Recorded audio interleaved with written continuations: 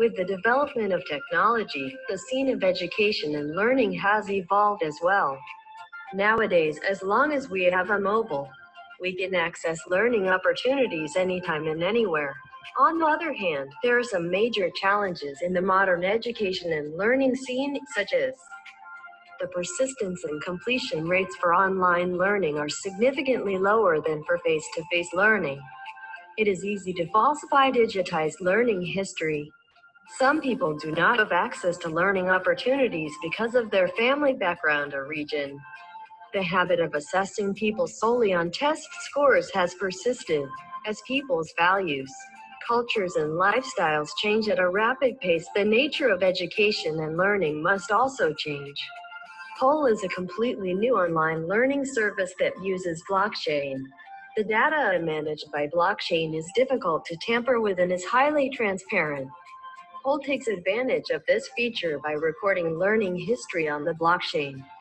Also, the more students learn, the more PoL tokens students get. The asset nature of PoL token provides an incentive to improve learning retention. The features of PoL are as follows. Learning history can be recorded in blockchain, making it difficult to tamper with. The more students learn, the more PoL token students get, the higher retention rate will be. Use the Earn PoL token as a means of payment to access further learning opportunities.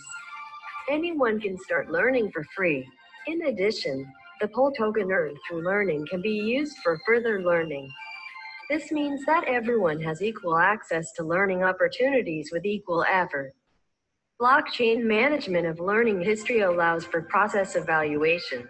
The mechanism of PoL, in which the learning history is recorded in blockchain in a state that is difficult to falsify and the more students learn, the more PoL tokens students get has improved the low retention rate of online learning, which has been a challenge. PoL also forms a forum for students to share their knowledge with each other, which greatly enhances the learning experience of the students. For example, the following results have been achieved. The persistence rate of learning has increased more than quadruple from 9% to 42%. More than 1 million PoL tokens have been acquired so far.